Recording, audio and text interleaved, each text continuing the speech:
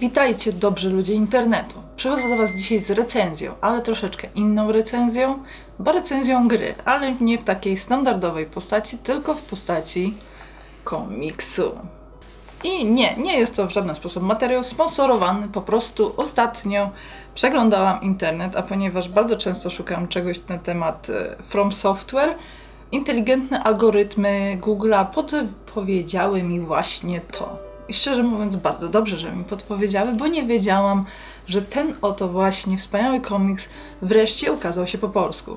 Jeśli ktoś z Was jakimś cudem nie ma pojęcia, czym jest Bloodborne, to Bloodborne jest grą od From Software, jedną z tych typowo Dark Soulsowych produkcji, które powodują, że ludzie łamią pady i wrzucają konsolę przez okno, a z drugiej strony tylko jak wylecą przez okno i wylądują na dole, biegną po nie z powrotem, aby ponownie grać. I Bloodborne jest serią, która w nieco odmienny sposób podchodzi do świata Dark Soulsowego, bo do tej pory mieliśmy w Dark Soulsach rozgrywkę, która opierała się głównie na tarczy i na ataku, tymczasem Bloodborne zrezygnował z tego rozwiązania. Seria Bloodborne zabiera nas do nieco odmiennego świata od Dark Soulsów, ponieważ nie jest to mroczne fantazy, w sumie jest to mroczne fantazy, ale bardziej w klimacie wiktoriańskim. Mamy do czynienia z łowcami, którzy co noc wyruszają na łowy, aby zabijać potwory ogarnięte szaleństwem krwi. I cała seria Bloodborne daje spore pole do popisu, ponieważ mamy miasto Hjarnam. A jak znamy, From Software zawiera w swojej grze bardzo dużo takich zdawkowych informacji, które pozwalają nam samodzielnie ułożyć historię całej gry i całego świata, w którym przebywamy. I świat ten właśnie jest doskonałym punktem wyjścia do komiksu, ponieważ mamy pewne informacje, ale szczerze mówiąc, jak sobie to poukładamy i jakie te wydarzenia dzieją się właśnie w tym świecie, to już zależy od tego, kto wymyśli scenariusz takiego komiksu. I szczerze mówiąc, o istnieniu tej perełki wiedziałam już od dawna, jednak była ona wydawana w Ameryce w oddzielnych zeszytach i każdy z tych zeszytów kosztował około 6 dolarów. Powiecie, niedużo, ale jeżeli złożycie wszystko w całość, wychodzi całkiem konkretna kwota. Tymczasem nie mogłam się doczekać, kiedy będziemy mogli wreszcie przeczytać taki zeszyt właśnie w Polsce. Nie sądziłam, że kiedyś do tego dojdzie, ale wreszcie, wreszcie Egmont wydał. Wydał 8 zeszytów z całej serii.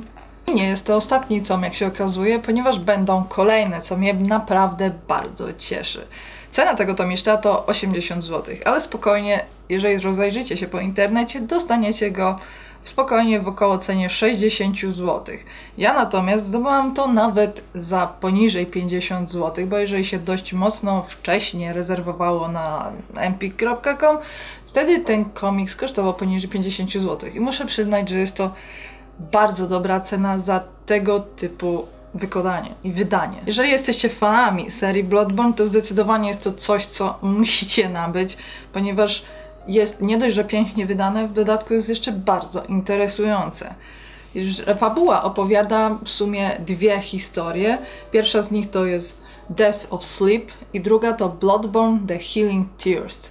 Są to po prostu dwie historie zebranych w ośmiu właśnie zeszytach, które opowiadają najpierw o łowcy, który dostaje pod opiekę dziecko, natomiast druga z nich opowiada o lekarzu, który przebywa w Jartnam i pewnym mnichu, którzy się spotykają w tym świecie i zobaczycie, co wynika właśnie z tego spotkania, jakże można powiedzieć odrębnych osobowości. Kolejnym powodem, dla którego warto na pewno zauważyć i zwrócić uwagę na ten komiks, są rysunki. I są te rysunki wykonane przez Polaka. Tak, przez Polaka. Polaka, który pracuje od lat w Marvelu w USA i szczerze mówiąc poświęca cały swój czas właśnie na rysowanie i trzeba przyznać, że nic dziwnego, że wybrali go do wykonania właśnie tego komiksu, ponieważ rysunki są świetne. Jest to Piotr Kowalski, który właśnie pracuje dla Marvela, natomiast zaczynał od swojej własnej serii, która nazywa się Guile.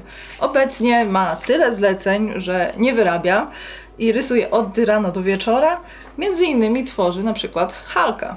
Dodatkowo na końcu tego komiksu możecie obejrzeć galerię okładek, które właśnie były wydawane zeszyty pojedyncze w Ameryce i trzeba przyznać, że jest to galeria świetnych grafik, których tak naprawdę nie powstydziłabym sobie się wydrukować i powiesić sobie po prostu na ścianie, ponieważ są naprawdę świetne.